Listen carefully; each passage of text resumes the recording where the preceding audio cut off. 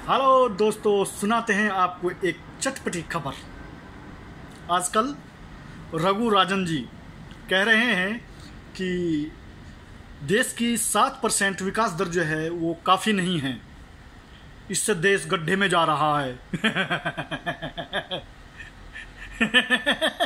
परंतु मेरी समझ में ये नहीं आया आज तक कि 2013-14 में जो विकास दर थी, उस टाइम साढ़े चार के आसपास थी। क्या तब देश जो है आसमान को छू रहा था? और मेरे ख्याल से 2014 में जो रिज़र्व बैंक के गवर्नर थे, वो मिस्टर रघुराजन थे, और एक अर्थशास्त्री जो रिज़र्व बैंक के गवर्नर रहे हैं, मिस्टर मनमोहन सिंह जी, वो प्रधानमंत्री थे। वो विकास दर साढ़े चार की आ हा हा हा हा देश हवा में उड़ रहा था, और सात परसेंट में जो है, फ़ीसदी में जो है वो रेंग रहा है। क्या तुलनात्मक अध्ययन किया रघुराजन जी ने? यार ये गवर्नर थे या कुछ और थे? हैं?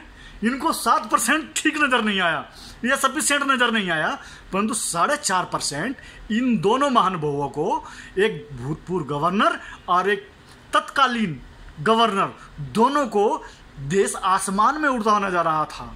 चार साढ़े चार परसेंट के विकास दर से जो है। यार ये आदमी है या पजामे जो हमें पजामा समझते हैं? हैं? क्या हो भैया आप? क्यों रघुराजन जी? आप गवर्नर थे ना? तो क्या झक मार रहे थे हम? जो है वो कहना हमारे बंगाली भाइयों का माछ पकड़ रहे थे गंगा जी में। हैं, या सुंदरबन में थे आप? है ना, सुंदरबन है बंगाल में।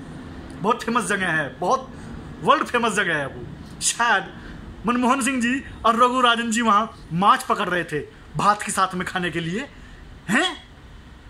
इडियट्स लोग हैं सबके सब। और लोग भी लग जाते ओ हो हो हो हो हो हो हो हो आसमान गिर गया भाई सात परसेंट की विकास दर में।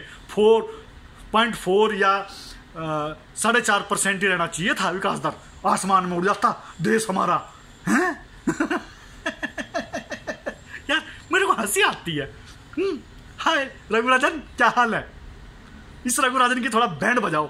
नो तू क्या झक मार रहा था वहाँ पर? या माछ पकड़ रहा था सुंदर सुंदरबन में बैठा हुआ? Idiots